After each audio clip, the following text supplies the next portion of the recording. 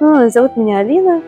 Я попала сюда еще в мае. Э, спустя на, легла на сохранение. Привезли меня с женской консультации.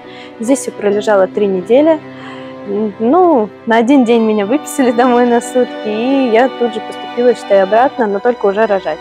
Э, родился он э, без одного дня 28 недель, вес кило 150, ну, совсем крохотулечкой. В реанимации мы пролежали долго, но меня успокаивало то, что я, когда лежала три недели на сохранении, мой лечащий врач сказал, что здесь врачи в реанимации хорошие, что выходит, не переживай. Вот это вот меня, вот правда, подуспокоило. Я перестала нервничать, доверилась полностью врачам. Но вот когда были вот эти часы э, стоять у малыша, да, можно было, то есть тебя медсестры не выгонят, не придут, ничего не скажут, можно будет подольше с ним поговорить. Было, конечно, дня 4-5 мне тяжело, я не ходила в эти часы. То есть я чисто приходила, ставила молочко и уходила. Ну, на минуты две вот я в этот момент как раз задерживалась там посмотреть. А уже потом я собралась с мыслями, потому что, думаю, он больше меня почувствует, я его больше почувствую. Стала ходить.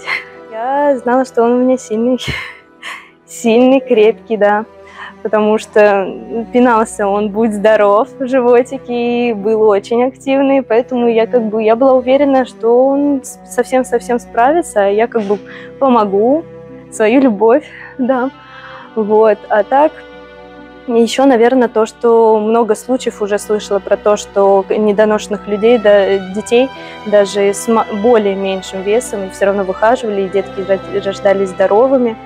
Хочу, хочется сказать большое спасибо нашим врачам, кто так трепетно от, относится к нашим деткам, которые маленькие, особенно медсестрам, которые в реанимации проводят сутками, ухаживают как за своим ребенком, как за своей дочкой, как за своим сыном.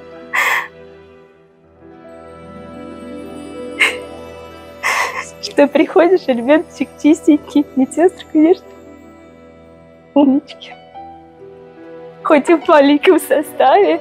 И бывало, что они сутки через сутки ходили, как бы. Большое спасибо. Мы сегодня едем домой. Прям не верится.